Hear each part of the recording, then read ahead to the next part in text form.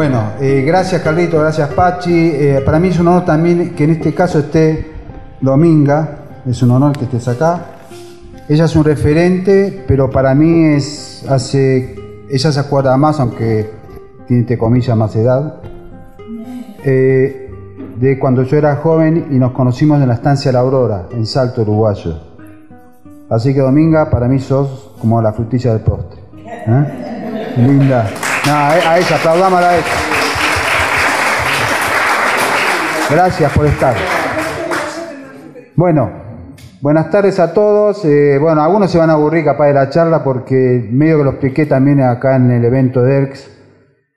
Hay 1600 cuadros pintados y tengo que seguir pintando. El tema es que hoy todavía la gente no está preparada para que yo muestre todos los cuadros porque hay que esperar un tiempo todavía, va a haber una persona que lo hace explotar como reguero de pólvora esto. Entonces, algunos se repiten, otros no. Hoy traje algunos distintos de lo de la que hicimos el evento en, en ERX. Y bueno, esto surge, más allá que después pueden entrar, googlear Edgardo Marranti o pintura unidimensional. Bueno, ahí le va a dar datos, donde estaba la página también, cuáles fueron mis experiencias de chiquitito, dos años y medio de edad, 11 años en el 77, que empieza el tema de los cuadros. Después, a partir de ahí, es que tengo que ir a, de donde Dominga nos conocemos, en Salto Uruguayo, Estancia La Aurora, que es donde vivo mis experiencias que me unen, lo chiquitito, los de los 11 años y los de 77 empiezo con los cuadros. Ahí empiezo siendo un tipo eh, muy tímido, vergonzoso, tuve que empezar a dar charlas, exposiciones de cuadros, viajar por todos lados.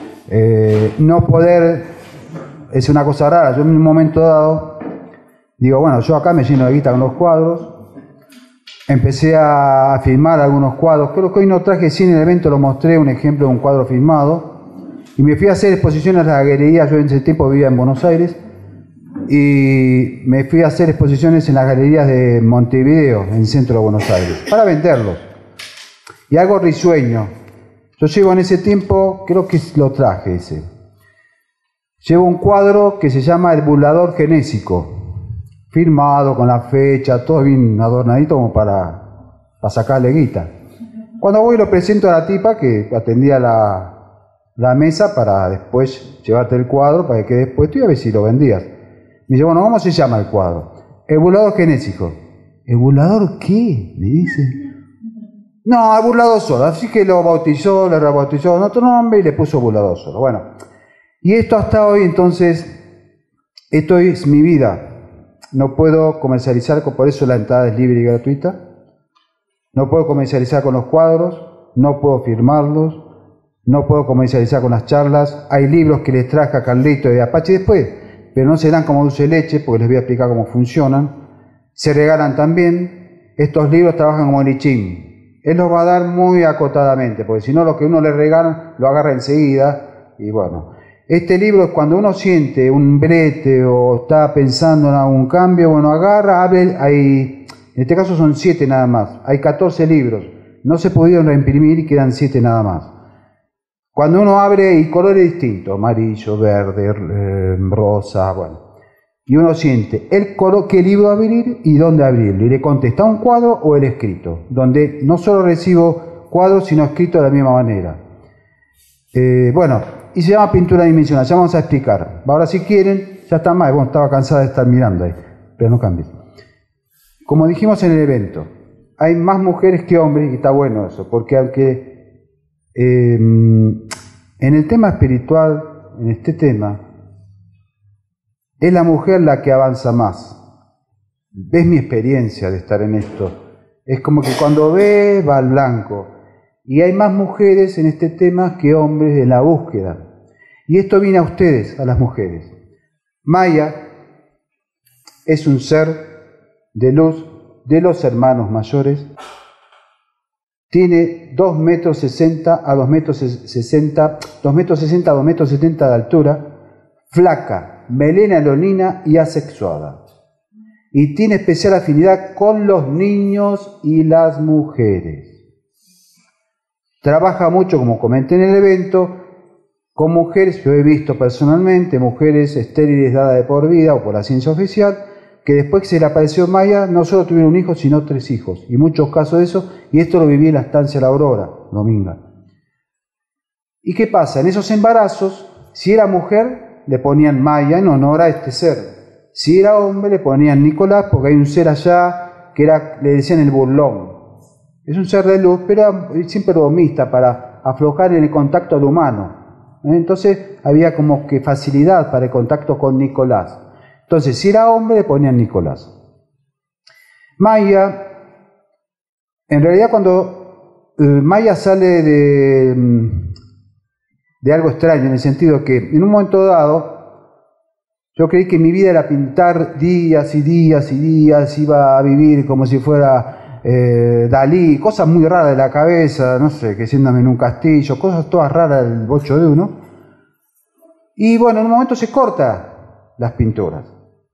Entonces empiezo a llenar a mi vieja las tulipas de antes, ahora no hay más tulipas, le pintaba cuadros, cosas, no sé, lo que venía le pinté, le enseñé las tulipas de cuadros y todo pintado. Y agarro a mi hermana y le digo, ¿por qué no me traes un... Yo tengo dos hermanas, pero la más grande se llama Olga. Digo, ¿por qué no me traes un, un 4x4 de una foto tuya y te pinto? Bueno, dale, ya entusiasmada, empiezo, lo agarro. Este cuadro tiene, está hecho en una tela. Yo ya no pinto más en tela porque se me destruyen y los traslado para exposiciones. Y atrás de la tela, Virgen, me la regala un primo poeta, el Oso Santa Cruz o Omar Santa Cruz, también un político muy conocido en Buenos Aires, y me escribe hasta un poema, dice la tela y escribe un poema. Cuando empiezo a pintarlo, sale esta mujer, y mi hermana se enoja conmigo porque dice que no era ella, se ofendía por la nariz, yo qué sé. Cambié tres veces el rostro y apareció siempre la misma mujer. Entonces dije, bueno, le pongo la tela por el poema que estaba por detrás. Cuando voy a estancia La Aurora, varias veces yo iba con fotos de cuadros. Entre esos estaba esta que se llamaba La Tela. Y cuando la ve Elena, Elena era la mujer de Ángel María Tona o Toto, hoy los dos están fallecidos. Y Elena le dice a Toto, Toto, mira, Maya le dice. Entonces le pregunto, ¿qué Maya? ¿Qué pasa con Maya? Y ahí me cuenta volvemos a esto como no soy la andricina, pero ya lo conté en el evento, es risueño, ustedes se van a cansar porque estuvieron, los que estuvieron en el evento no se rían, pero hay algo risueño a contar. Ángel María Tona lo llevaban todas las noches, a las 4 de la mañana, lo citaban en un punto del campo, que son 1750 hectáreas, un campo ondulado semiserrano, y todas las noches lo llevaba una nave, lo esperaba y lo llevaba a misionar, ya sea para sanar, ya sea para otros planetas, ya sea para recorrer la parte en el planeta, diversas funciones. Una vez, dos veces, tres veces, diez mil. Bueno, la señora dijo, este es el maestro del engaño, o sea, de yo que le estaba metiendo los cuernos. Entonces empezó a tener problemas la pareja, se, iban a separar.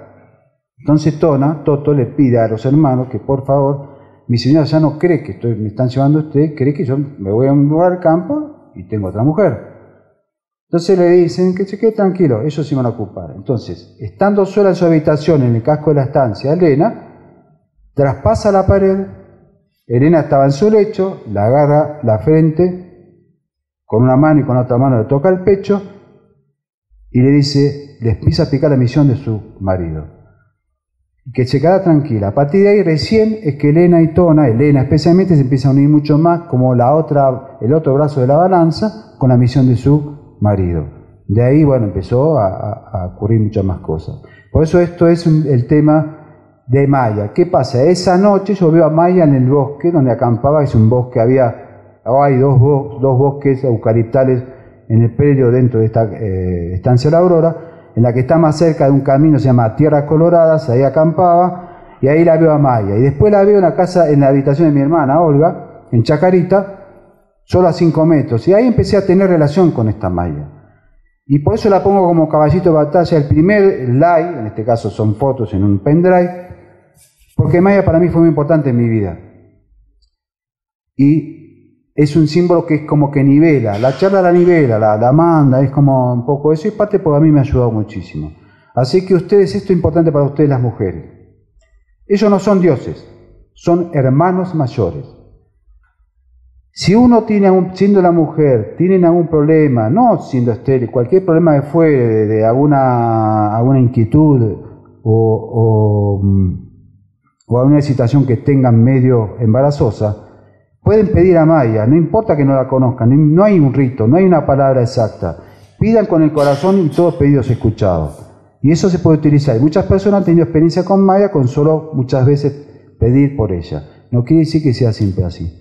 Pasemos a otro. Bueno, nosotros estamos, eh, estamos acostumbrados a ver cometas y en realidad los cometas son naves camufladas donde hay viajeros que van sembrando semillas de alta espiritualidad y este es un ejemplo, se llama Oral Inf, ser de cometa viajante por resuelta disposición en el Consejo de Diamante Triangular por amor a la verdad. O sea, van, son porciones que van viajando y van sembrando según las disposiciones de, un, de, un, eh, de una parte cerebral del plan. El plan para la Tierra se llama, se llama Plan Pétalo Formal. En un libro verde, aquí que le toque el libro verde, lo va a tener la primera hoja. Son letras, símbolos y hay como números. Eso lo vi escrito en una pared. O sea, parecía de esta manera, no ahora, antes había, se, parecían como si fueran computadoras, un cuadrado con la letra que iba de izquierda a derecha. Una vez que yo tomaba y escribía lo que estaba dando la pared, se borraba de derecha a izquierda. Y así apareció todo eso que van a ver en la primera hoja del libro verde, que es el plan pétalo formal, que es el plan que los hermanos están generando hacia nosotros como hermanos menores en planos inferiores. Ellos en esta tierra está considerada como un lugar que tiene que crecer mucho, que los que estamos acá tenemos que aprender mucho, y la tierra en poco tiempo va a ocupar, un lugar de luz en el escalón de la escala evolutiva. Pasemos a otro.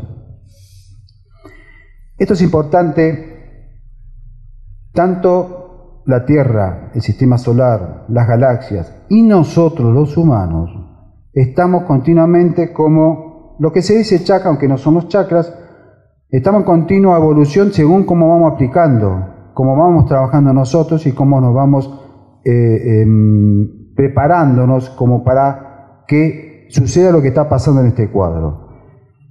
Este ser sin nombre, amorfo, cuando llega a tener todo alineado, se le abre lo que se llama la copa cósmica, que es la antena cósmica o coronaria, y continuamente en el planeta hay una lluvia, se llama lluvia cósmica, lloviendo constantemente, que el tipo de humano que esté de esta manera la absorbe totalmente. Ahora, mayormente el humano común, más dormido, solo absorbe un cuarto o medio o nada, o puede ser que tenga un paraguas y no absorba nada. Por eso está en el trabajo de cada uno individual. Y se llama pronunciación de la iniciación. Pasemos a otro. Bueno, acá vamos a hablar de la muerte que no es la muerte oscura que conocemos, es un paso, se deja este vestido, pertenece a esta tierra, y lo verdadero perdura, que es un poco lo que muestra este... Uno, se fue a... Lee lo que muestra este cuadro. Acá muestra que muere una persona. ¿Qué pasa? Se lleva la casa, la señora, los hijos, el auto. No, no nos llevamos nada. Solo que atesoramos que es la estrella que está en el centro del cuadro. Se llama la estrella de la sabiduría. Eso no lo roba nadie, eso no lo toca nadie y uno no lo pierde cuando baja en escuelas inferiores. Queda ahí guardado hasta que uno se va capacitando y se le une todo lo que ha aprendido. Se llama munido de todo lo que se permite como equipaje de traslado sin demasiado calculado. Pasemos a otro. Eh, Nati. Bueno, el tiempo nuestro, que es relativo al espacio, el tiempo, los hermanos mayores, el tiempo de ellos se llama tiédimo. Y el símbolo de ese tiempo de los hermanos mayores es el que tenemos en el cuadro. Y en el tiempo de ellos se, divide en un tiempo, no el nuestro, en dimensiones y en acontecimiento. Toda esa mezcla del tiempo de ellos. Y muy en la ocurrió una vez que a Tona le preguntaban, Tona conectado, Toto conectado, le dice, Toto, ¿cuándo van a ocurrir todas las cosas en el planeta? Hace de esto, estoy hablando de 25 años. Y dice, mira, los hermanos hablan de que en un movimiento de cabeza de ellos ya ocurrió todo. A mí me puede agarrar tortícoli y no ocurrió nada. Entonces, ese es el tiempo de ellos. Ya pasan, ya pasaron las cosas. Este, pasemos otro, Nati. Bueno, acá vamos a hablar, ya lo mostramos también en el evento, Pedro Romaniuk, Ángel María Tona Ototo. Yo tuve conversaciones con él, con ellos, en vida de los dos. Yo recibí lo que era uno del otro lado y lo que era el otro del otro lado. En este caso estamos hablando de Pedro Romaniuk. Uno no está autorizado mientras vive la persona en hablar del, de la parte cósmica de ese ser. Yo ahora estoy autorizado porque los dos están fallecidos. Esta es la imagen del otro lado de Pedro como servidor cósmico de mucha luz. Fíjense lo que está por encima de la cabeza de Pedro. Servidor disciplinado, corriente para muchos, porque realmente él fue el que abrió las puertas, fue el que rompió la pared para que entráramos nosotros, que en el puerto te esperaron. Y acá hay una cosa, si no vamos a hablar después, pero si no háganme acordar, porque hay como una firma, PRP. Si está el otro cuadro, lo explico en la otra. Si no, háganme acordar y les explico después, para no, porque está bueno en el otro, explicaron, no en este. Eh, pasemos a otro. Esto para ustedes que viven en Córdoba, va, ustedes, los que viven en Córdoba, es una provincia muy importante para el contacto con los hermanos mayores. Por algo está acá en el Uritorco ERX. Pero no solo ERCS. Esto muestra, por eso se llama forma plantiforme del grupo K subterráneo, GIS, mapa centro. Está mostrando todo lo que hay por debajo de la provincia de Córdoba a nivel de los hermanos mayores como bases. Es muy importante, súper importante. Pasemos a otro.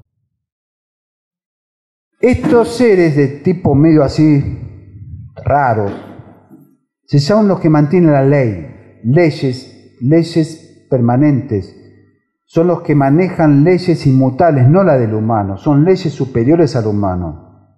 Por eso se llama ser autis, confieres con ley. Y tiene una forma donde están los trabajos, porque cada, eh, nosotros lo invisible creemos que, claro, no el parlante o, el cuerpo, lo que fuera, eh, creemos mucho en eso, pero en realidad la nada no existe, la nada está llena. Y hay mucho más dentro de lo que no vemos que lo que estamos viendo. Pasemos a otra, Nati.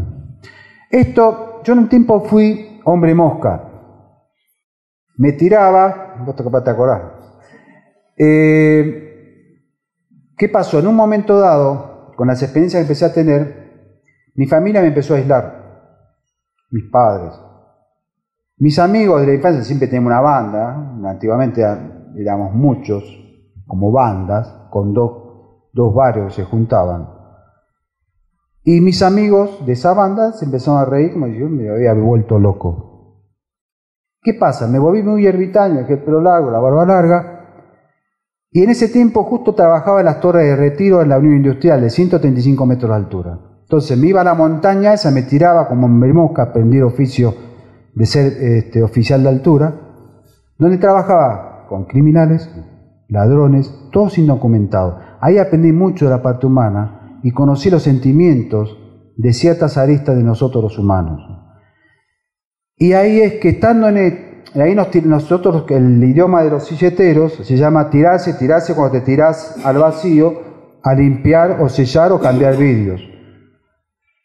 Y estando ahí, eh, o sea, nos manejamos los silleteros, teníamos unos carros especiales que primero largábamos a uno el que sube me larga a mí y andábamos con sopapas porque el edificio era liso, no había donde agarrarse. Entonces trabajamos con sopapas que se pegaban a los vidrios. Así era el trabajo. Y el balanceo que depende de lo que es la altura. Estando yo manejando un compañero mío, saliendo de la boca, vienen estas esferas. En realidad está mal el cuadro. El cuadro es como si fuera acostado horizontal y mirando hacia la izquierda, yendo hacia la izquierda. Vienen de la boca se ve así como ven con colores, el cielo estaba muy nublado, y pasan muy cerca donde estaba yo y se fueron hacia la zona eh, más de la, del Tigre, bueno, una zona más hacia la izquierda. Estas son esferas que van limpiando las densidades más profundas, en este caso de la ciudad de Buenos Aires, es como una rejilla que limpia y van equilibrando esas partes. Y van viajando, limpiando esas partes eh, más eh, de, barrios o más de ciudades para que puedan mantenerse ciertos, eh, ciertos equilibrios, porque si no ya el humano no tendría ni agua potable, no podía vivir en este planeta, o sea, hay un control para que el humano no, no tiene el derecho a destruir su planeta, tiene el derecho a auto a matarse entre hermanos. No puede tocar la tierra porque ya sale de su, de su métier y en realidad es cuando van a actuar los hermanos. No pueden reventar la tierra porque giroscópicamente el sistema solar se producirá un lío bardo. Esta es una esfera que vi cuando trabajaba como en Mosca. Pasemos a otro. Este es importante el cuadro porque da, da nombre a la pintura. Este cuadro se llama La casa o fruto anidimensional. ¿Cómo se da esto de anidimensionado fruto? Pónganle, como explicaba la otra vez en el evento, ahora acá los veo ustedes, todo bien, de golpe hay como se va abriendo una grieta pequeña o como un cierre. En la medida que se va abriendo el cierre, los pierdo ustedes, pierdo el ambiente, esto que aparece detrás del cierre, que es un fruto anidimensional, mayormente son multicolores y como que se mueven, como que viven, el que tiene, en este caso lo tuve que ver porque tuve que pintar, no es que estoy privilegiado. Ahí puede haber humanos que ven un fruto dimensional, es, como les dije, se abre un cierre, se pierde todo el entorno y la persona tiene una experiencia con el fruto dimensional que, es, que puede servir para, como para aclararle o para también llevarlo a estados muy, eh, muy espirituales. ¿Qué quiere decir anidimensional? Esta pintura se llama anidimensional. ¿Qué quiere decir? Está en todos lados y en ningún lugar Depende de quién esté delante, ve o no ve, depende de que tenga que recibirlo de fruto adimensional. Así la pintura, los hermanos dicen que es como un iceberg. Se muestra un cuarto, el resto está por debajo de la superficie del agua, el resto lo tiene que este, interpretar la humanidad. Y por eso es que esta pintura se llama anidimensional, hay como una casa, porque es una casa de los hermanos mayores, que son los que gestan la pintura. En realidad, yo por eso soy un copiador, no soy artista, soy un mero copiador, yo mañana me muero, lo importante es la obra y quién esté delante de la obra, no mi persona. Pasemos a otro. Esto hablemos de cuarta dimensión. Cuarta dimensión se la conoce como la profunda. No puedo tocar, no hay límites, no como acá tercera dimensión. La cuarta dimensión después pisa quinta, sexta, séptima, hay infinitas dimensiones. Estas partículas que nosotros nos vemos con los ojos físicos tienen formas, colores, aspectos en lo que se llama la cuarta dimensión. Esta partícula viene bajando de, lugares muy subliminales, girando, en la medida que va girando y atravesando niveles, capas y dimensiones, va reequilibrando el sistema y va dejando porciones de luz en la medida que va atravesando esos sistemas. Por eso se llama purificador interior de revoluciones dimensionales, no kilométricas. Es muy distinto a lo que conocemos nosotros. Giroscópicamente equilibrando campos y micrométricamente conteniendo todo, porque contiene todo dentro de sí. Son partículas millones de estas partículas hay, pero no las vemos. Hacemos otra, Nati. Acá vemos ya una partícula cuarta dimensión, pero pegada en esta periferia eh, espiritual. Es como decía, el bajo hasta del humano, donde están los pensamientos, los egoísmos, todo lo que está pegado a nosotros, que es la parte invisible. La siriana lana etérea, acá fíjense, esta es la parte eh, astral del ser humano, pegada a nosotros. Así estamos, los egoísmos, los yoísmos, bueno, la siriana, que son millones de partículas trabajando, en la medida que pasan por nuestro sistema negativo, fíjense cómo deja por detrás, reequilibró todo el sistema. Eso es el trabajo que están haciendo para que lo que se tenga que cumplir como ciclo tenga que llegar en momento deseado, ni antes ni después. Entonces hay muchas partículas, hay muchos elementos que están trabajando para que la Tierra cuando esté plena se dé el cambio. Se llama siriana alana etérea. Pasemos a otro. ¿Les aburre un poco todo esto? Bueno, esto es importante para nosotros los humanos. Lo voy a explicar sin micrófono para que lo vean. Eso es así. Esta esfera es como una manzanita, no es más grande que esto. Esta es una base que al apoyarla en las manos de ellos, no en mi mano, cuando se apoya en las manos de ellos, que está fabricada por ellos por ello, se conecta, se pega como sopapa la mano y empieza a funcionar como si fuera parte de la mano con el torrente eléctrico. Cuando sucede esto, estas aretas empiezan a hacer esto. Y esto empieza a girar vertiginosamente y producir multicolores. ¿Ahí qué hacen ellos? Acuérdense que está acá el extenso. Ellos van con el extenso acá, llevan un humano de la mano así y lo puede trasladar, gracias al extenso, físicamente traspasar dimensiones. De otra manera, el humano no lo puede llevar, solamente, inconscientemente o en sueño. pero para que algún humano tenga experiencia física traspasando, traspasando dimensiones, lo usan con este extenso capacitor que con un faro y ellos llevan al humano así, así es la imagen. Esto sí, por favor, presten mucha atención. Es básico para entender por qué nos dicen nosotros hermanos mayores y ellos son hermanos mayores. Eh, nos dicen hermanos menores y ellos son hermanos mayores. Esto que ven acá, que es como un bebé, es la gestación de un ser de luz extraterrestre dentro del vientre de una madre común, común, como un humano común, como un niño común, puede ser mujer u hombre. Pero es uno de ellos que emanan a través de una relación común humana sexual. Esto que ven acá son esferas que al bebé lo mantienen protegido, que le hacen como una cúpula.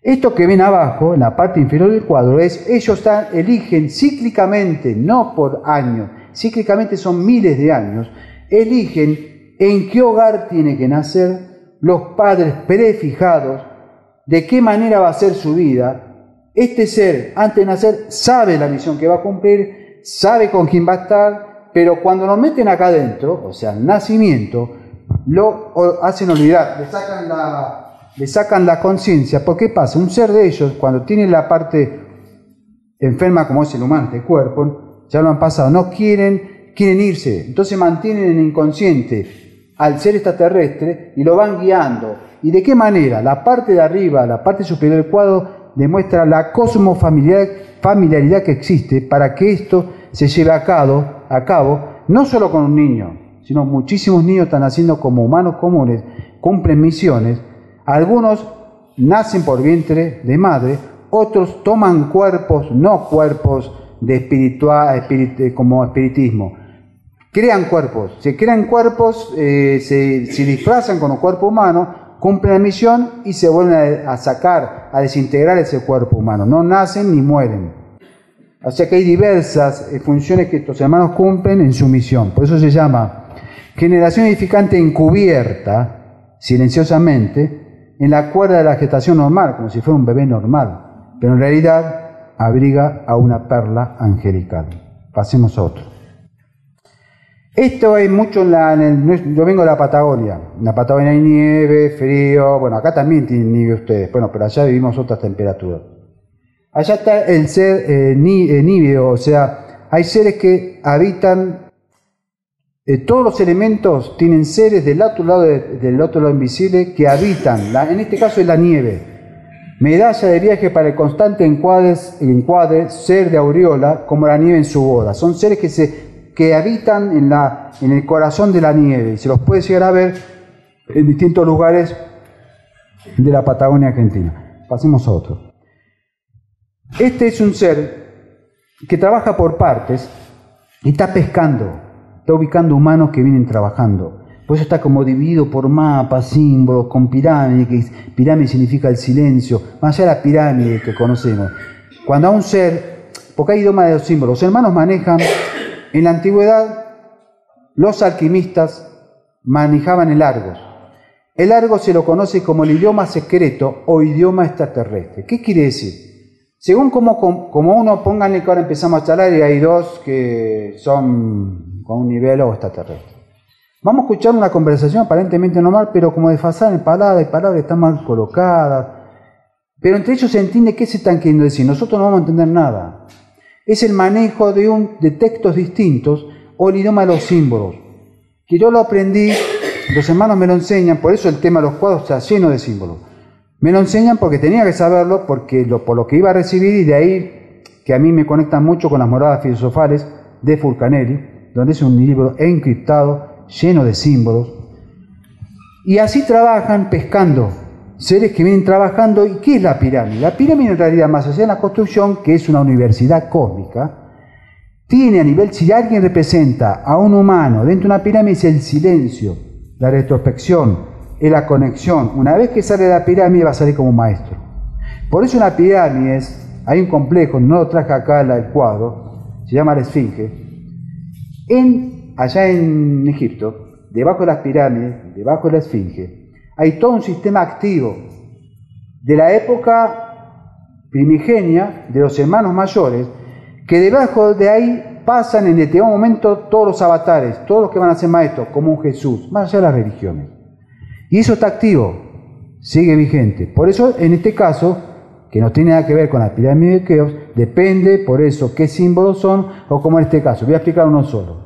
Esto significa lo que está tomando de la tierra, está generando todo un círculo interno como un volcán. De ahí esto va a ser tomado por esferas de hermanos que van a venir, tomar semillas y van a componer ciertas partes de un humano.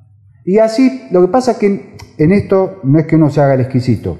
También me dijeron ellos, los cuadros, en la medida que yo los tomo, sé todo, de una línea, un color, un punto, pero cuando doy una charla, lo importante, y para no condicionarlos, no les puedo explicar todo el cuadro porque los condiciones y ustedes dejan de sentir, porque lo que sientan ustedes, aunque no coordine con lo que yo diga, es lo verdadero que sienten ustedes, porque pueden tener el cuadro más de 10 significados distintos.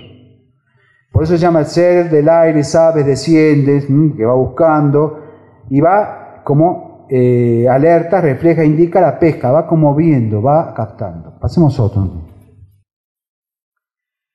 Este es un ser, bueno, gracias. Hay seres germinadores, todo en cuarta dimensión. No pensemos que vamos a verlo en, tercera porque no existe. Esto sí se puede abrir para un humano que le muestren y le, y le muestren el ser, sí eso existe y es muy común también. Estos seres son seres que van germinando, que no son seres podría decirse con corazón. Son seres más bien autómatas, están creados para eso, están ordenados de una manera para que vayan sembrando y germinando, pero todo esto para qué? No solo para el planeta, no solo para lo mineral, no solo para lo vegetal, sino para el humano y animal. Y se llama recostado una actividad germinadora esencial. Es como que si ustedes imaginen disparando, habrán visto en juegos de Play, PlayStation, que había peleadores que hacían, mandaban, bueno, en este caso siembran con esta parte, pero reciben orden por la antena. ¿Hacia dónde y en qué manera germinar? Pasemos a otro Esto, ¿qué sucede en, en, lo íntimo del humano, en el íntimo de un ser, que es como paredes? ¿Qué pasa? En un momento dado al humano lo encierran, lo acotan, para que empiece al trabajo interior, a la búsqueda, lo que decían los alquimistas, el roble hueco. El roble le vemos roble. La luz dentro del roble hueco son el humano, la esencia. Es un poco esto. ¿Mm? Se llama envoltura para lavado interior, recibido, permitido y bendecido. Pasemos a otro. Esto trabaja en los, como bien dice el título, alma consuelo para muchos que sufren desconcertados, golpeados, trabaja mucho en la, en la desmoralización del ser humano, en cuando se bajonea, en cuando se deprime, no en todos los humanos. Esto va por ley de frecuencia. Quien trabaja se merece y lo ayudan. Acá arriba, en, en lo que es la parte espiritual, no hay, no hay regalos. Por eso hay que trabajar, hay que tratar de estar conectados, hay que tratar de estar limpiándose. Sabemos que tenemos, convivimos con el oscuro, el negro que tenemos más el blanco. Hay que tratar de ir arremándole luz al negro y no negarse, porque lo tenemos. Hay que trabajar. Por eso se llama alma consuelo para muchos que sufren desconcertados, golpeados, para su propia y completa recuperación compleja, pero causal respuesta, que es lo que le dije antes. La respuesta va a estar por la causa que genera que sea por merecimiento. Pasemos a otro. Este está hablando de lo que es el alerta, el llamado, la atención. Son cierto tipo de seres que tampoco son seres, son más bien cosas muy autómatas, volátiles, que conectan para que un humano llegado en su momento de capacitación sea como alertado, sea, sea más conscientemente ligado, y se llama trono comunicador del orden, frecuencia mayor, recibe y escucha el llamado. Recibe y escucha el llamado cuando está preparado. Hacemos otro. Presten atención a esto, este es rey importante. Lo hemos hablado ya en el evento también. Ustedes conocerán, todos los que andan este tema, las profecías de Benjamín Solari para Paravicini. Acuérdense la profecía hombre gris. El hombre gris no falta mucho Todavía faltan crisis para la Argentina, estamos hablando. Falta tocar fondo, del fondo se toca, aparecería este hombre gris, como dice la profecía, emergería de las masas. Cuando emerja de las masas, le van a abrir, no literalmente, lo que sería esta parte, y le van a, lo van a guiar los hermanos mayores de luz para posicionar a la Argentina como potencia samaritana de amor y de brazos abiertos. De aquí muchas cosas van a pasar en el mundo viejo y nosotros somos el mundo nuevo. Y acá, no nos voy a explicar más cosas, pero sí está encriptado el nombre verdadero. Hoy este hombre debe tener 60, 61 años. Él no sabe que va a ser hombre gris. Es muy católico, eh, muy de la iglesia, no habla nada del tema ovni, no conoce el tema ovni. Mendolar, hombre de inicio estelar, inicio del plan velar. Velar, el plan velar es el plan de los hermanos con, que nos relaciona el plan hacia nosotros los humanos, pero dado por los hermanos mayores. Corporación de la Luz, hermana de las palmas que abrigarán. Y en este caso, ¿qué está? La todavía no lo expliqué y vale ahora que lo explique. Esto no, es una foto de ese hombre gris, es una cosa eh, eh, energética, esencial, del patrón interno de ese ser humano que hoy por hoy no sabe quién es. Acá está toda la parte, la parte cómica, la unión, cómo le van a ir bajando, lo están alimentando, lo están preparando. Acuérdense, esto lo sabía mucho Pedro Mario. No lo decía porque, bueno, no era para decirlo. Hay gente, eh, grupos oscuros que, estamos hablando de 60 años, buscaban a dónde había nacido este, pero querían matar, porque sabían que apenas germinara mucho más fácil que ahora que es un, un árbol grande, un árbol viejo. Y Pedro lo único que conocía del hombre gris era esto, le mostraron a él. Por eso venían a verlo a él mucho para ver que dijera dónde está, dónde nació, por dónde anda. Nunca lo dijo, tampoco él sabía, solo demostraron él para que reconociera cuando viera, ah, es este. La parte de abajo, ¿qué pasa? Para que alguien en una misión cumpla una misión verdadera, tiene que trabajar lo cósmico con lo terrestre, en este caso la Tierra, si fuera otro planeta, otro. Para que se conjugue todo en el centro, en armonía perfecta. Si no, esto no se podría dar. Y este ser, que es un ser humano, cuando cumpla su misión, todo esto va a ser activado, todo esto va, a emerger luz, y estos seres van a ir tomando partículas para que este ser cumpla su misión. Ojo, no es joda presidente de la Nación Argentina. Aunque parezca un verso, estudien si quieren la profecía de Paravicini, ahí van a ver mucho más con detalles qué es lo que anuncia el Stombergui. Y si no, vean la profecía, la profecía de Don Orione. Don Orione lo clarifica, lo de la Casa Rosada. Veanlo bien lo que dice, de los ángeles que cubren. Don Orione nunca conoció Argentina. En la Patagonia, en un museo que se llama Leleque, yo vi, porque me interesa mucho los tehuelches, me metí porque había mucho de lo que es el Museo de los Tehuelches, y estaba la profecía de Don Orione. Desde Italia, nunca pisó Argentina. Él hablaba que vio en un triángulo muy al sur mucha, mucha gente como hormigas que se iban a salvar de lo que pasaba de este lado, iban todos ahí hacia ese lugar que estaba vacío. Sí, es Argentina. Y Don Orione también habla del hombre gris. Por eso busquen profecía Don Orione y la de Paravicini, hombre gris. Pasemos a otra noticia. Esto igual hay una... ¿Qué pasa? Ya vamos a hablar algo más personal, medio más de entre. Yo estoy, cuando estoy en época de pintura, he pintado siete cuadros por día. Es un récord. Y como cuando hago una exposición en el Teatro San Martín, una de las críticas del Teatro San Martín me dice, mira, pues yo no ponía fechas por detrás de los cuadros. Me dice, mira, porque esto va a ser historia del arte. Entonces, pone por detrás título y la fecha en que terminás el cuadro que va a ayudar a quienes estudien esto cuando vos no estés. Bueno, en la época de pintura puedo estar, depende de la cantidad de pintura. Eh, ahora tengo 50 cuadros nada más, pero te tiene que terminar la serie. He tenido ciento y pico de cuadros y he terminado en 15 días. Entonces me interno en un lugar a pintar, que es mi casa, arriba, y parezco un óleo, todo olor a óleo, me tengo que poner unas pinchas para pintar, no, es así, bueno. Y bueno, me agarra y empecé a pintar y mi señora está en Buenos Aires. Cuando voy, yo tengo todo preparado los bocetos, no, no tengo que saber cuando voy a pintar, solamente abro el boceto y veo cuál es, tengo todo preparado las bases. Cuando abro este y me dice que no era, no había, no era ninguna de las bases que yo tenía preparada. cagamos, perdón, hablando más de pronto. Y digo, ¿qué hago? Me tuve que levantar, empezar a irme a la cocina a buscar como que rastreando un perro, y veo una fuente de mi señora, imagínate. Este es, bueno, esta es la fuente. ¿Ven? Cuando viene, bueno, Elisa es un amor, mi señora, pero bueno, dije, mira, tengo que ser una fuente, es una fuente. Y tuve que pintar este ser una fuente, no pasó nada. Y se llama, este ser trabaja en lo muy íntimo de la guía y de energía que le corre al humano como cósmico por su columna vertebral. Como la columna vertebral del mundo es, la cordillera, pasa lo mismo por acá. Y se llama ser métrico como soporte de la columna farolía. Pasemos a otro, ¿no? Vamos a hablar de la parte cómica de eh, Toto. Esto en vida de Toto, voy con lo que recibo y digo, mira, Toto, yo recibí esto de vos. Me dice, y vos sabés por qué ellos te hablan.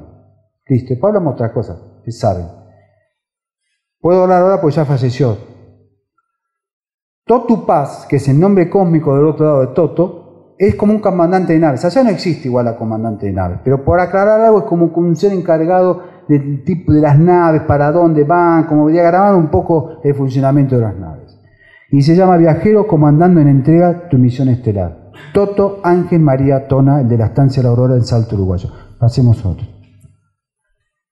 Este habla de la, de la oración. ¿Qué pasa? No importa la religión que profesemos, no importa o, que seamos ateos, no importa. Va todo por adentro de uno. No hay límites de lo que nos quieren presentar de afuera. Y llega un momento en que uno como que a lo que profese, a lo que le tenga fe, pide, empieza como no sé a decir ciertas palabras que le nacen. De ahí son captadas estas palabras por este tipo de seres por eso se llama servidor de santa oración en suspensión. Están en un estado de suspensión y, están en, como atentos a ese llamado y vierten ciertas claridades a través de una oración. Pasemos a otra. Estos son planetas, es una síntesis de planetas y planetas, todos metidos adentro, que trabajan para la función de lugares inferiores, como en nuestros u otros lugares que trabajan los hermanos mayores. Esto es importante. Los hermanos mayores eligen su misión por amor y por afinidad. Si ustedes tuvieran un contacto ahora, capaz que lo llevan a una nave.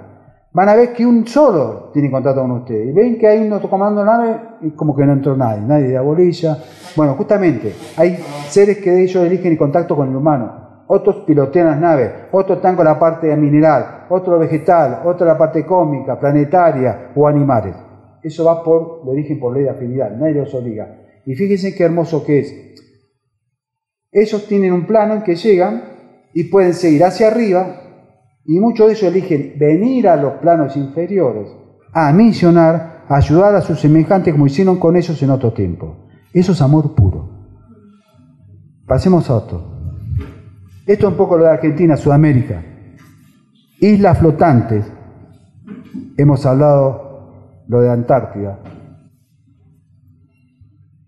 La base más importante casi que existe en el planeta de los hermanos mayores está en nuestra Antártida. Por eso hay muchos gobiernos oscuros que están yendo hacia la, Antártida, porque también hay instalados seres oscuros extraterrestres trabajando en la Antártida para bloquear lo que se va a venir, que indefectiblemente va a suceder porque el ciclo se tiene que cumplir. Y estando ese equidistante, están los triángulos, están conformando energía, porque esto en un momento dado va a tener que cumplirse. Se llama la miel vertida para el futuro de vida, hoy es el día. Esto vamos a hablar de la Patagonia. En la Patagonia, hace 10.000 años, 15.000 años de antigüedad, se hablaban de seres gigantescos de 4 metros de altura y con pelito, todo pelito, pero manejaban un idioma como la ardilla, gutural. Estos seres eran extraterrestres de otros nivel planetario, junto. Estas son sus naves, tipo así, como la ven, medias, medias este, como si fueran esféricas. Estos son proyecciones que hacían hacia los humanos cuando no podían contactarlos. Y este como cuando contacta a un humano en esa época, lo van irradiando, lo van llevando y lo van preparando. Hoy de estos seres no hay en la Patagonia. Sí hay cadáveres. En ciertas estancias hay cadáveres en la Patagonia Argentina. Se llama Encuentro de los gigantes, maravillas de sus corazones. Pasemos a otro note. Este es el que yo les dije que ven. Bueno, no está acá, está cortado. Acá está filmado. Este es el que les dije en un momento cuando iniciamos la charla, el bulador genésico, que se me cagó de risa. La, dijo, no, volador, es El tema es así, esto es bueno para nosotros. A mí me lo muestra. Este ser maléfico estaba así. Esto se movía, se movía así, los triángulos, y carcajadas todas grotescas y me muestran que este ser, que era un ser que es evidente humano, había llegado a un estrato bastante bueno, se acomodó en el colchón, se acomodó en el almohadón de pluma. Y no quería avanzar, y la rosa todavía necesitaba, ya es un pimpollo, necesita que se abra, que se, que se muestre el sol interno. Entonces lo empiezan a regar del lado del sol. Se ve que se merece que avance. ¿Ven que está todo conectado? La rosa, entonces, cuando se levanta, teniéndole miedo, porque encima es una pendiente, enfrentarse con este ser es para perder. Pero cuando avanza, que es por acá, que es un estado virginal, fíjense la forma, se da cuenta que esto se diluye, desaparece y se encuentra con su sol y con la iniciación. O sea, es una creación del mismo. Se da muchas veces eso. Y se llama el burlador genésico o el burlador. Pasemos a Esto es importante por lo que está sucediendo, que gracias a Dios se va a terminar. En la Tierra, actualmente, gracias a Dios, falta poco para esto, por eso se le está escapando, están los magos oscuros que oprimen y dirigen a la esfera en sus vientres seniles. Ellos se le va a terminar, se termina el ciclo de oscuridad y va a empezar el ciclo, el ciclo, de la luz unido al sol, al regente, como se le está por escapar y dan abrazo de ahogados, tiene a los últimos estertores. Pero el ciclo se va a cumplir, gracias a Dios, y vamos a pasar lo que se llama nueva era o era de luz, que vamos a estar pegados a esto. No falta mucho, pasemos a otra. Bueno, Edu, acá lo tenemos, Edu y Villarrino. Él ha creado, que sería lindo después si querés pasar, si dos, dos palabras. Dale, se Bueno, yo voy a agarrar tocar oído, nada más, con el violín sin cuerda. Edu crea, después pueden ir, por eso también un poco lo mostré, porque quienes vivan acá, algunos los conocen, otros pueden ir en Jardino, Edu es muy amable, los va a recibir, él es muy, muy buen varillero, radomante. Lo único que es, se entra, este, esta es la entrada, ahora vamos a ver otra. Entran, hay cuadros de anidimensional de estos cuadros, él tiene su lugar ahí, que es el comando de la nave, que está acá, que es, no es literario, y van a entrar, él le va a hacer elegir una piedrita con un poco de agua de vertiente, entran, él pone, pasemos a otro, ¿no? Bueno, este es el título. Octógono dimensional, principio y fin. Puente de vida, reencuentro y armonía que giras, dando abrazos de amor y hermandad colorida, dentro y fuera del sentido esencial de la vida. Conjugando rayos de sol para quien su don, o sea, para quien entre su don, y para sí mismo la unión. Todo aquel que entre va a recibir lo que tenga que merecer, lo que merezca. Pasemos a otra vez si está la mesa. Bueno, acá viene. Cuando uno entra, Eduardo le dice, bueno, pone la, él pone la piedrita acá, si no me equivoco, corregime. Pone la piedrita acá y pone la botella de agua acá también. Están dos tres minutos, lo máximo. El varilla no es que no hay nada raro y hablan cosas entre que la persona está ahí y Eduardo que le bajan cosas por la varilla, nada más. No hay otra historia. Estarán tres minutos, cuatro, se van, se llevan el agua que queda energetizada y la pedita ya pasa a ser personal. Se la llevan, se la aguantan. Pero este cuadro, que hoy no lo muestro, sino me estoy en el evento, que conforma la mesa del centro del octógono, se llama EOC, que son eh. Quiere decir estado de orden completo. Significa, en un muestrario pequeño, como si fuera lo que nosotros conocemos como Dios, o creador, o energía, o como uno lo quiera llamar. Y lo importante de esto es que los extremos, esto se desenvuelve así mismo, o sea, esto como que va así y esta así. y los extremos se tocan y tiene un movimiento de baile. No voy a hacer yo porque si no, no soy de danza ni nada. Pero empieza como una meba, ahí está. Como la, hace ese movimiento medio muy armonioso. Bueno, pero se une y los extremos se tocan. Y estos son millones y millones de, de lo que son capas, niveles, dimensiones, planetas. De todo está acá. Y se llama EO. Pasemos a otro. Bueno, acá vemos las paredes internas del octógono, de Mamaya, estas son reproducciones, el, igual Eduardo tiene algunos, este, mm, algunos cuadros originales. Esto es lo que no lo mostré, que iba a hablar de PPR. No, PPR no. Sí, no, PRP. Que no voy a decir lo último, pero ustedes lo van a interpretar. Este es Pedro Nota Parte Cósmica, Pedro Romanio. Pedro. Romanio Pedro. Esto solo lo voy a hablar solamente ahora en el círculo de amigos. No lo voy a hablar a ustedes. Después cada uno que interprete lo que quiera. Yo no lo voy a decir ahora. Pero es Pedro, Romanio, Pedro. Bueno, listo. Yo creo que ahí terminamos, a ver. Bueno, Nati, listo, ahora pueden descansar. Si quieren, hagan preguntas. Si no, terminamos y nos vamos cada uno a tomar un mate o algo por el estilo. ¿Listo? ¿Quiere preguntar a alguien? ¿Damos por terminado? ¿Cómo recibiste la información? ¿Puedes contarlo? ¿Lo de los cuadros?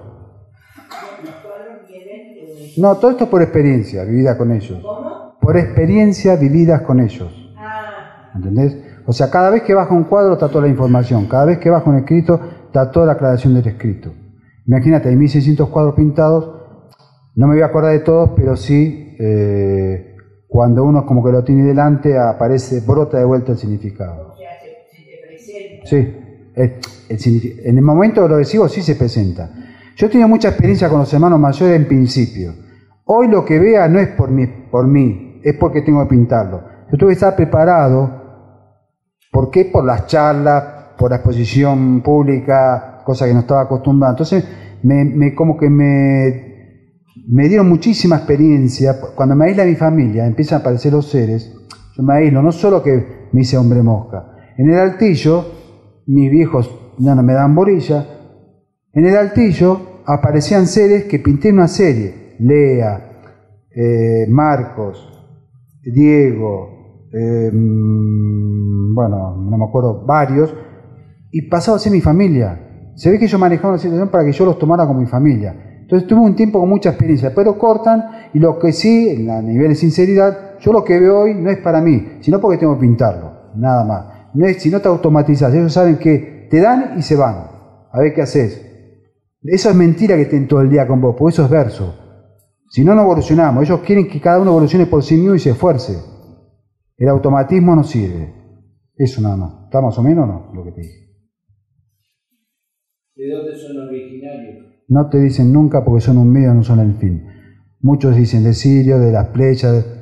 Yo sinceramente te digo, muchos lugares. muchos lugares. Sí son dimensionales. Son dimensionales. Y no te lo dicen porque ellos te eh, expresan, no nos elijan monumentos, no somos dioses, somos un medio, no somos el fin. Entonces, mira, fíjate, vos ves nombres mayas, mayas común, Lea, Marco, Alan, Nicolás, son todos nombres muy conocidos por nosotros terrestres, porque justamente ellos ocultan su verdadero nombre. Ahora voy a, a- a dar un verdadero nombre para que sepan cómo es. Donde ocultan porque su misión no les permite, ellos no quieren aparte, porque vienen a, que el humano, si quiere, tome, haga un cambio de conciencia de 180 grados, pero tiene que esforzarse y quererlo él. Y Diego, que no está acá ni lo mostré en el evento, su verdadero nombre es un sonido. ¿Qué pasa? Si alguien de nosotros supiera todo lo decodificado que está dentro de ese nombre, sonido, letras, podría llegar a saber del principio al fin lo que fue la vida de ese ser. Como no está permitido, ellos no pueden mostrar sus verdaderos nombres. Entonces utilizan mayormente los nombres de su última etapa inferior y cuando pasan a ser luz es evidente que Maya, eso sí ya lo sabemos por la aurora, su último estrato físico antes de ser luz, que era, era más bien se movía por Uruguay, la zona de Montevideo, y era médica. Con los niños.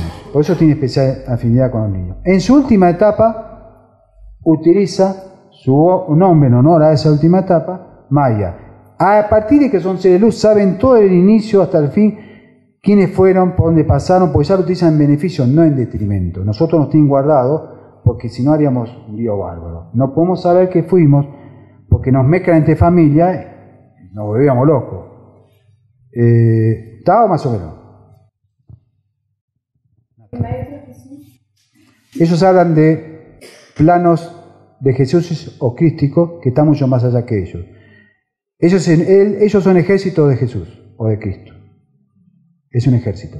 Por eso cuando, esto siempre de comillas, con mucho respeto para quien profese la religión y profese, el, más allá hemos extractado todo lo que fue la experiencia con Jesús, a él lo sacan, a él lo están controlando, como ahora en una, creo que no sé dónde lo dice, si es la Biblia, yo vendré de otra forma con mi ejército de luz. El ejército son los hermanos mayores. Él está mucho, eh, lo crístico está en un, ellos dicen, está más allá que nosotros. Y de Dios, que nosotros hablamos de Dios, hablan de una energía, no de Dios. ¿Mm? Dale.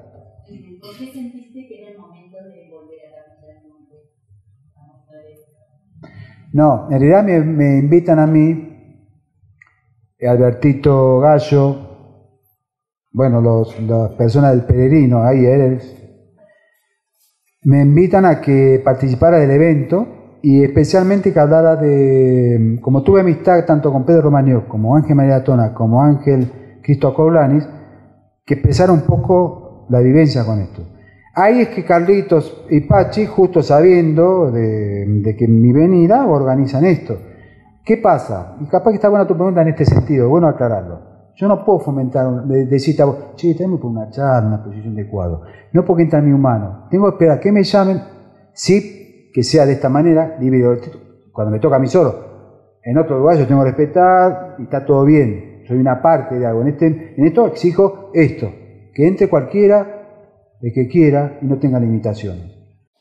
Eso es un poco eh, mi movimiento. Ahora ponele, me invitaron el 4, 3 o 4, 4 y 5, Luz del CIO, que va a armar no un congreso, sino un encuentro, algo así, y quiere que hable de la parte profunda y subterránea. Tengo que buscar cosas de los hermanos mayores, de- dedicadas a pinturas que van específicamente a hacer eso.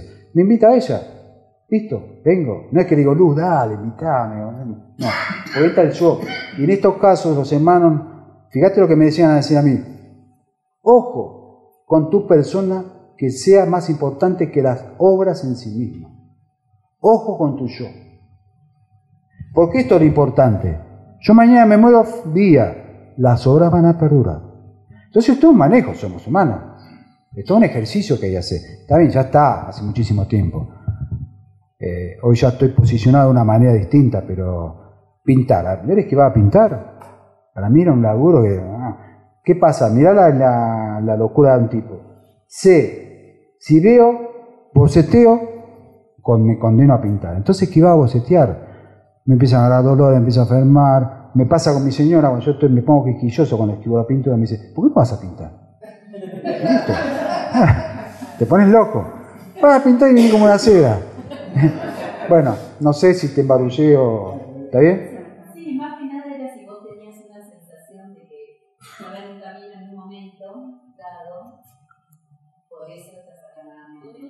Bueno, ahí te tendría que contestar más eh, personalmente. Yo vine igual con una, gracias amigos, yo vivo en el Bolsón actualmente.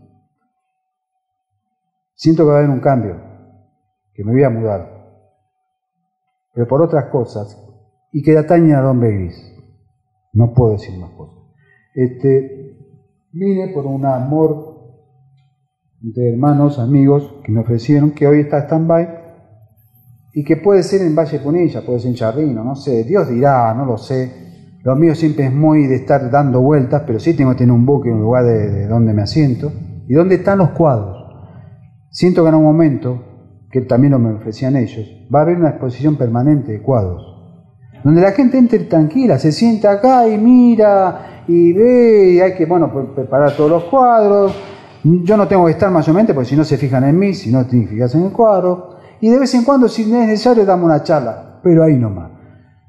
Y eso a mí me saca una preocupación, porque mi, preocupación más grande es qué va a pasar con los cuadros. O sea, sé que están protegidos, no hay ningún problema.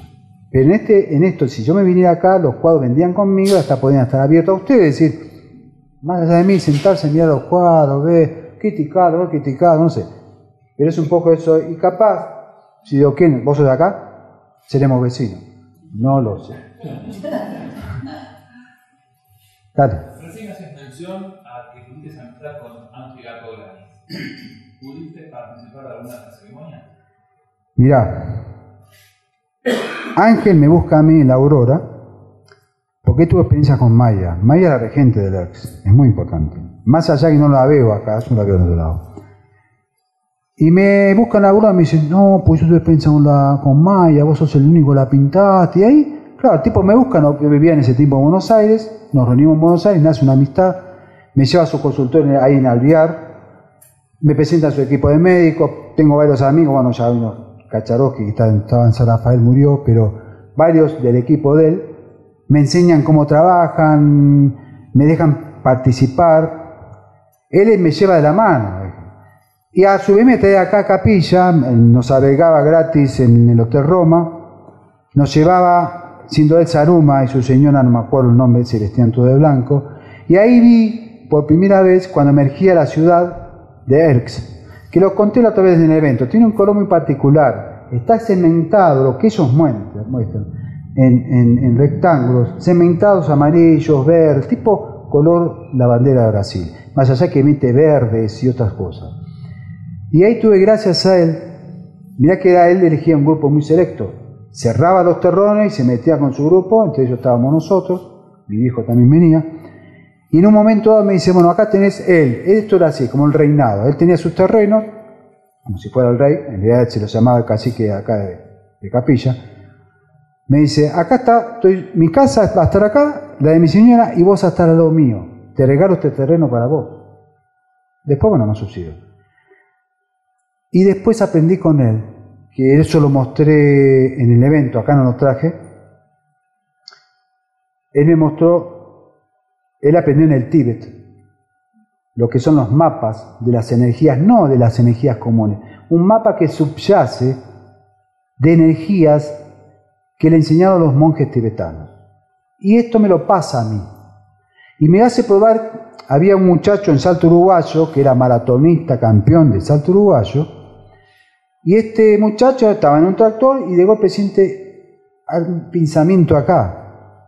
Lo tienen que bajar del tractor, a partir de ahí queda este, sin, sin, sensibilidad esta parte. Esto sigue creciendo muscular, con mucha musculación, tipo, se ve que sus piernas eran, bueno, yo lo conocí con las piernas flaquitas, inmóviles, totales. Y Ángel iba a salto, íbamos juntos, y lo trataba en la casa con su mamá, él había tenido su pareja, todo se había divorciado, bueno, quedó solo su mamá, porque había que limpiarlo, lavarlo.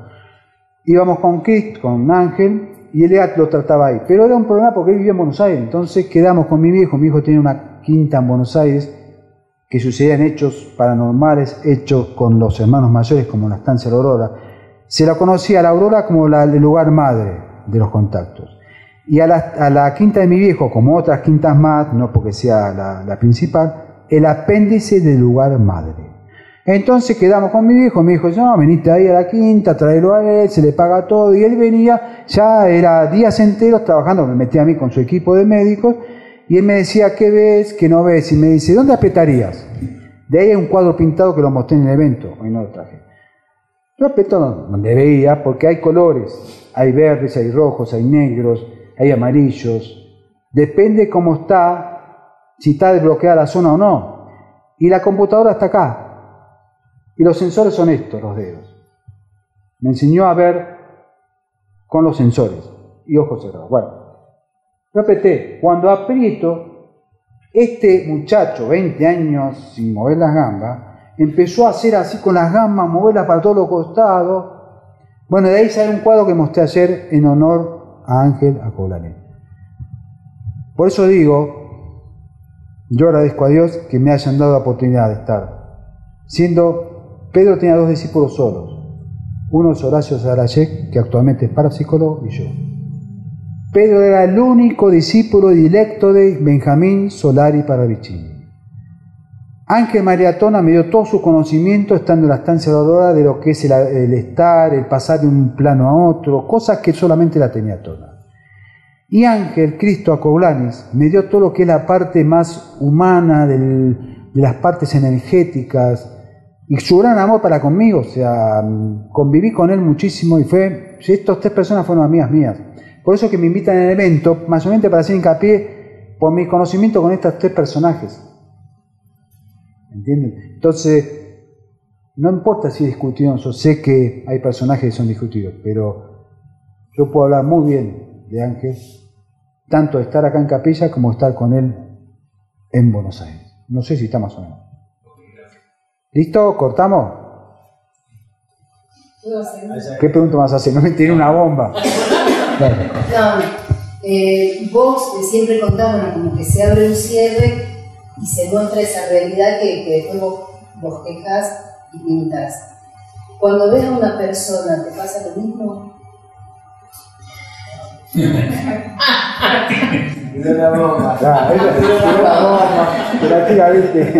No, no, pero está bien, Marina, te estoy jodiendo. Bueno, pero si yo le tengo que contestar, me digo. A ver, no. A ver, quédate, repetime la vuelta porque estoy con. ¿Te puede pasar en alguna ocasión muy especial que estés frente a una persona y se abre ese cierre y veas la otra dimensión de esa persona? No, en ese caso no. Sí suele suceder, no porque sea más que nada. Ellos me enseñaron, no, es como herramienta que te dan que no tenés que utilizar siempre. Ponele, de golpe me abrían fotos, veía una foto de alguien, se iba la foto, podían ser de 15 años o de un casamiento, y me llevaban a intimidar a la persona, sea mujer o hombre. Entonces de ahí podía saber qué estaba pasando o no estaba pasando. Me enseñaron eso, me enseñaron después, un tipo estuvo dos horas con, dos horas y media conmigo en, era Cobrar Seguros en un tiempo, allá en Buenos Aires. Y un flaco, tú estabas esperando que tenía que cobrar seguros a un lugar donde se cobran las multas, en Carlos Peregrino, no sé ni dónde. Y tenía dos horas porque los em- tenía que cobrar empleados adentro, seguros de América y Estrella que trabajaban. Bueno, como un sanguchito, me quedé tranquilo, de golpe se me para un flaco al lado, me dice, ¿vos crees en los extraterrestres?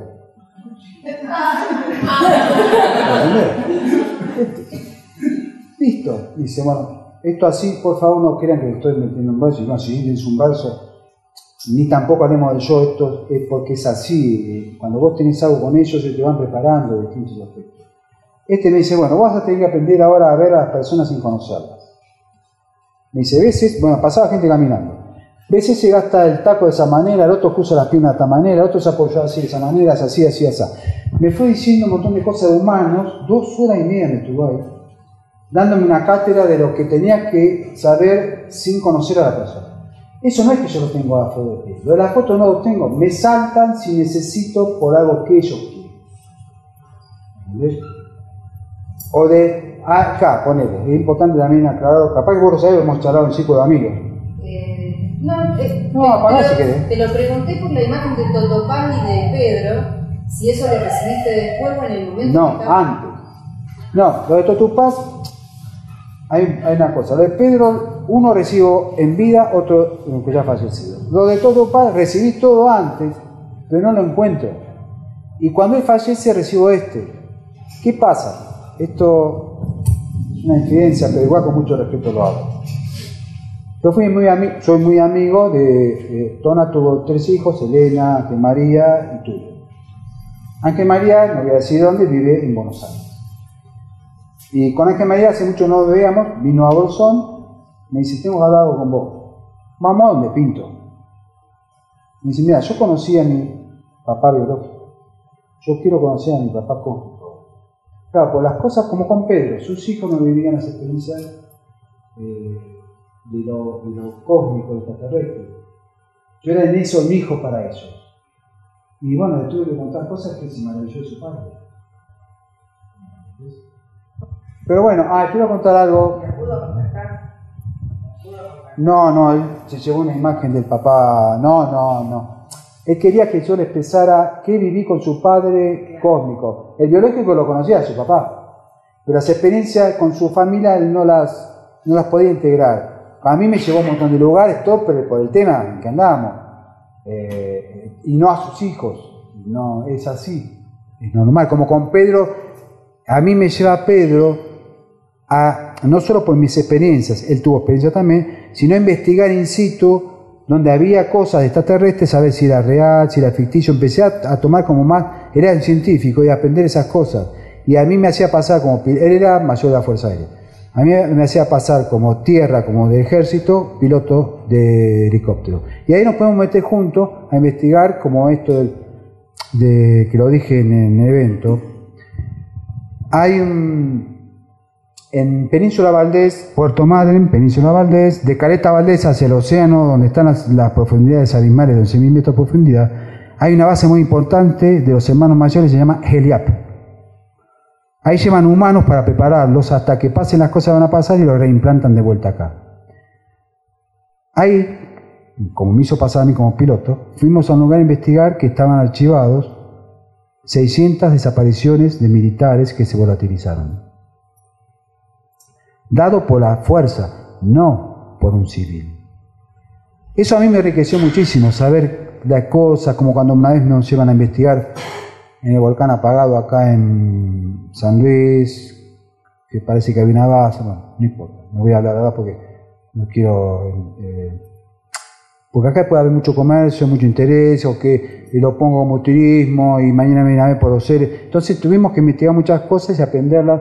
El testigo, a ver qué le pasa, si está loco, es verdadero o está falseando. Bueno, aprender a, a discernir y a saber cuando una marca que pasa. Bueno, eso.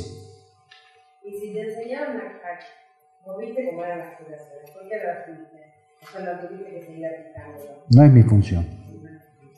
Para eso hay otras personas. Miren, esto es muy claro. Porque el humano, viste, quiere agarrar. Soy todo, soy el hombre múltiple. No. Sí probé.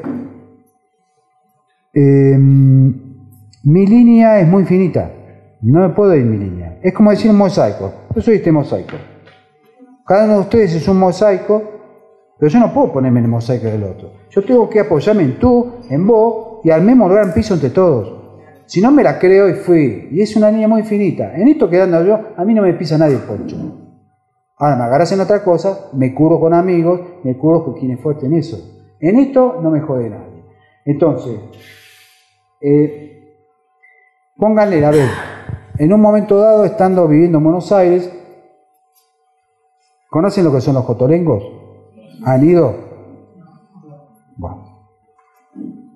Hay un chico normal como nosotros que viene y me dice, mira, yo tengo mi novia dentro del Cotolengo, muchos de ellos que están ahí adentro quieren que les vaya a dar una charla de, los hermanos mayores. Esto era en Monte no me acuerdo. Cuando voy, él, ¿qué pasa? Esto es como una película infernal, la oscuridad. Ahí encontrás seres chatos como monedas, seres que están todo el día golpeándolos para que puedan respirar, seres, poner un- uno con una cabeza en la silla nada más, así, con los bracitos le salían de acá. Y los llevaban a muchos de ahí, los llevaban para juegos sexuales. Bueno, vamos. La novia de este muchacho re normal, un tipo pintón, la novia era chata, pintaba con la boca unos cuadros de loco. Bueno, ¿qué pasa? Claro, cuando entré, la, que él me va acompañando, ¡eh! me tiraban cosas, me gritaban, toda una cosa, parecía un infierno oscuro, tétrico. No me tocaron porque iba con él. Cuando después de la charla se, todos se dieron vuelta. Pero salí de ahí y dije para mí mismo, no, yo no estoy preparado. Me costó un montón. No era, no tuve, no estoy preparado para, porque si no dejas de dar, dejas de entregar. No era mi camino, pero me sirvió. Me sirvió muchísimo entrar a un cotolengo. Eh, por eso digo, a mí ya me marcaron, o sea, pintar cuadros, custodiarlos, estas charlas, exposiciones de cuadros, en caso excepcional a algo de eso que decís vos, porque tiene que ser, muy acotado. No es mi métier. Si hay sanadores, hoy están ocultos, si hay sanadores dirigidos por los hermanos mayores que están trabajando pero están ocultos todavía, no pueden ser muy públicos. Eh, Son ellos. Ellos son los que tienen la camisa esa. No te puedes ir de la línea, porque si no te crees que sos el hombre lo que es, te fuiste. Acá hay que humildad, ellos piden mucha humildad, mucha sencillez. Laburar, no te dormás porque perdés. Yo tuve dos personas muy importantes en mi vida, contactados, que estaban como en el cielo, tocando el cielo con las manos. Y de golpe se arrastraban como gusanos por macanas humanas. Dos. Y a mí me dicen, ojo, que a vos te puede pasar lo mismo. Bueno, esto es mi vida. Es como la, imagen esa de la. Sí, pero eso lo pasás. Acá quedás. Te mandas una macana, te vas con pito y cadena. Los vi a estas personas que terminan, le sacan el contacto, pierden el contacto, bueno, un montón de historia. ¿Listo?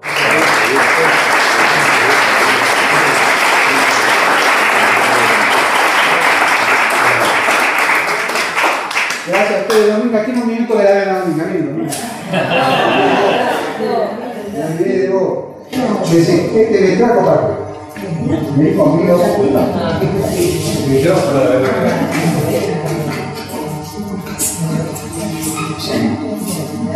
Para la gente.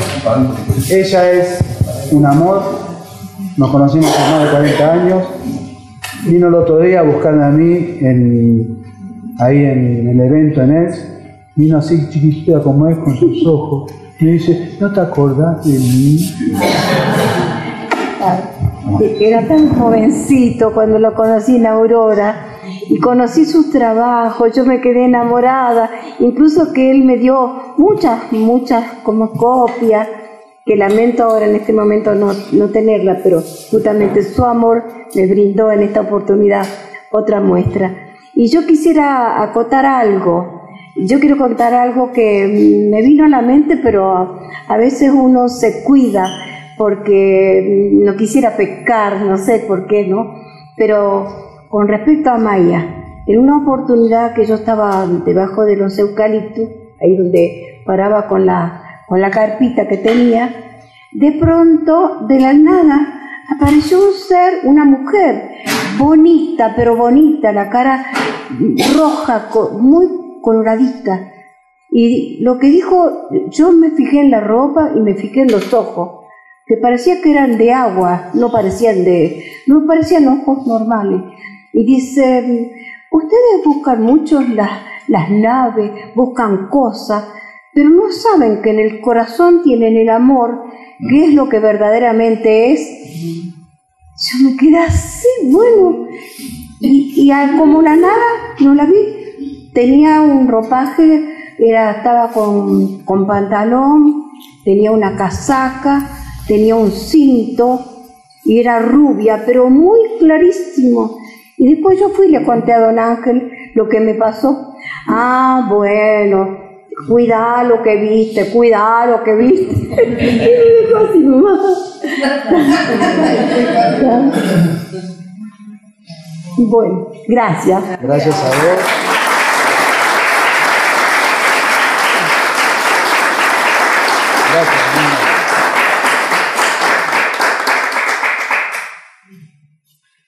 ¿94 años? No.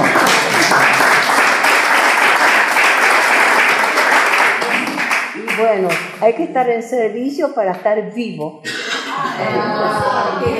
Con-